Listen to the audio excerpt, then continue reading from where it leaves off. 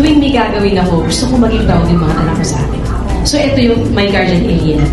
Sabi ko nga eh, parang worth it lahat ng maghihintay ng limang taon para gawin ko.